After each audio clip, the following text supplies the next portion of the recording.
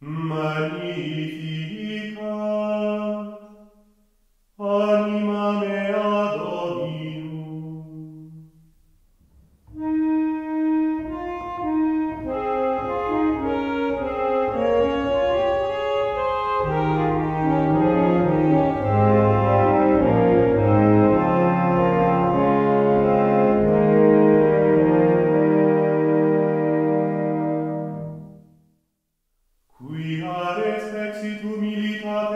facile sue, et enim et beata medicem omnes generatio,